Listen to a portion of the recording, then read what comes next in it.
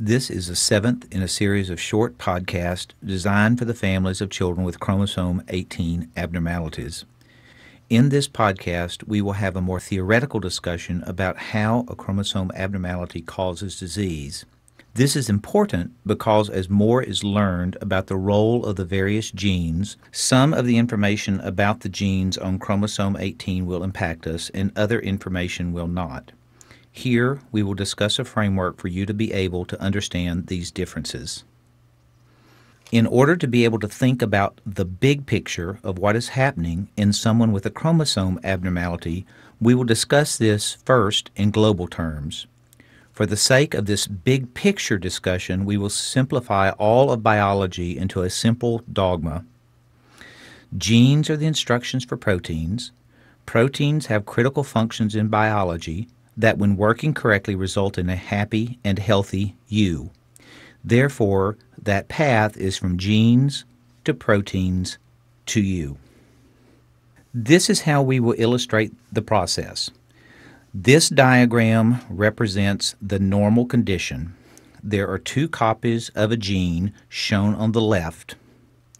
Two copies of the gene produce a certain amount of protein shown by the blobs in the center. This normal amount of protein then results in a happy and healthy you. For the sake of this discussion, we will only talk about how gene copy number variations have an effect. We will assume that all the genes work normally to produce a normal protein. This means that we are ignoring a huge category of genetic conditions. In this discussion, we are concentrating specifically on the consequences of copy number variation. Next, let's work through some of the possibilities when there are too many or too few copies of a particular gene. There are three scenarios for what could happen if there are three copies of a particular gene. At the top is the white gene when in three copies this gene has some sort of dosage compensation mechanism so that even though there are three copies, the normal amount of protein is produced. Therefore, there are no adverse outcomes for you. The blue gene, on the other hand, has no dosage compensation mechanism, and therefore three genes produce three proteins. This is 1.5 times the normal amount of this protein, and that has a bad effect on you. The third possibility is the pink gene. Here, three copies of the gene produce one and a half the normal amounts of protein, yet for whatever biological processes that protein is involved in, it just doesn't matter. So you're happy and healthy. The point is that just because there are three copies of a gene does not automatically mean there is a bad outcome. Some genes will have a bad outcome when there are three copies, and some will not. A similar set of scenarios can happen when there is one copy of a gene instead of the normal two copies. The gene shown in white can be upregulated so that it produces a normal amount of protein and you are happy and healthy. The gene, shown in blue, makes its normal amount of protein, but because there is one gene instead of two, the total is half of the normal amount. And this is not enough for normal function. Thereby, this can result in disease. The gene in pink makes its normal amount of protein, but because there is one copy of the gene instead of two, the overall amount of protein is half the normal amount. For the processes that this protein is involved in to happen normally, half the normal amount of that protein is sufficient, and therefore you are happy and healthy. So here again, we have three scenarios some with a normal outcome and some with a bad outcome. From this thought experiment, you can see that one cannot assume that because there is one copy of a gene, there will be a disease state as the outcome. Our central challenge will be to figure out which genes adversely affect you when there is an abnormal gene copy number, whether or not there is an extra copy or only a single copy. So, what do we know about the chances of any one of these possible outcomes actually occurring? There is much less known about the consequences of three copies of genes than about a single copy of genes. But there are data from multiple sources that lead us to expect that only about 10% of the genes will have a bad outcome when there is only one copy instead of two. What this means is that for someone with 18p minus and a deletion of the entire short arm, a region with only about 50 genes is that there will probably only be about 5 genes on 18p that have a major consequence for the affected individual.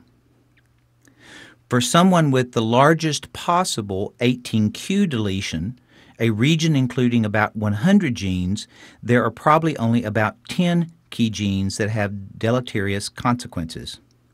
Wow! So this may not be such a big problem to solve after all.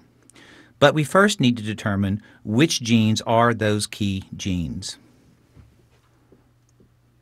In order to explain how we go about determining which genes are the key genes, we need to go over some terminology first. First is the genotype. The genotype is a person's genetic makeup. In these discussions, we are mostly just referring to the actual size and location of a region of chromosome 18 that is either in one copy or three copies or four copies, something other than the normal two copies. The phenotypes are the manifestation of the genotype, so this would be short stature, or a heart malformation, or a kidney abnormality, or any of a hundred other uh, different features. In the case of the chromosome 18 conditions, we don't know which genes cause which phenotypes. The linking of these two is one of the goals of our research. This process is called genotype phenotype correlation. What is a phenotype? A phenotype means the characteristic features associated with a particular gene. So, for example, a good phenotype would be short. However, there are lots of ways that children can get to short. They can have a hormonal abnormality, they can have a bone disorder, they can be malnourished, they can have growth hormone deficiency, or they can have a resistance to the effect of growth hormone there are many different ways that you can get to growth hormone deficiency. There can be a structural abnormality of the brain, or there can be dysregulation of the way that the brain produces growth hormone, or the child could have had a brain tumor that resulted in the destruction of the cells in the brain which make growth hormone.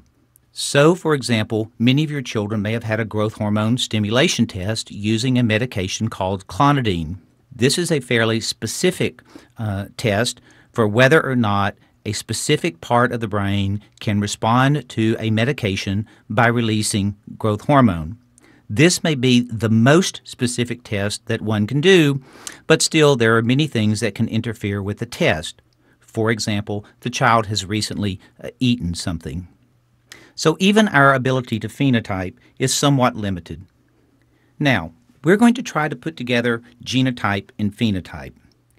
Here is a diagram showing how we go about correlating the genotype with the phenotype in order to determine where the key genes are located on chromosome 18.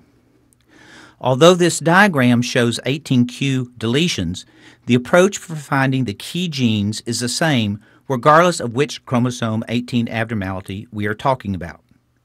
So here goes. To the left of the red line is the diagram of chromosome 18. In this example, there are four individuals shown uh, on the right hand side of the slide, each with a different deletion of 18q. Their genotype is shown pictorially, and under each of their chromosomes is a list of their phenotypes A, B, and C. The way we go about determining where the genes for the phenotypes are located is as follows. To determine where the gene is for phenotype A, we look at only those individuals with phenotype A, as shown in the box. Then we ask, what is their common region of deletion on chromosome 18? This identifies the region at the end of the chromosome. We call that region the critical region for phenotype A. Likewise, if we want to know the region of the chromosome where the gene for phenotype C is located, we use the same approach. We select all of the individuals with the phenotype C, shown in the box, and then ask what is their common region of deletion you can see that in order to do this in a way that identifies small regions with a small number of genes is to have a lot of people with a lot of breakpoints, including interstitial deletions. We also need to have accurate information about the various phenotypes. Genotype phenotype mapping may help identify the common phenotypes. But what about those phenotypes that affect only one or two people? Can these be related in some way to their chromosome 18 abnormality? The answer is yes. They can also be the result of a chromosome 18 abnormality.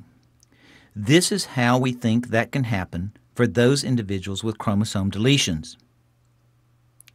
As you know from earlier in this podcast, many genes on chromosome 18 are expected to have no ill effect when there is only one copy instead of two copies. However, this means that the single remaining gene must work perfectly. If it is not working perfectly, then you have no functional gene and a disease is likely to result. The chance that someone with a chromosome 18 deletion has a mutation within one of the single copy genes is very small. We estimate that the rare phenotypes that occur in only 1 or 2% of the individuals could be the result of this type of chromosome 18 related problem. Also remember that chromosome 18 is only one chromosome and only about 3% of all genes, so there can be genetic issues completely unrelated to a chromosome 18 copy number change that have consequences for a child.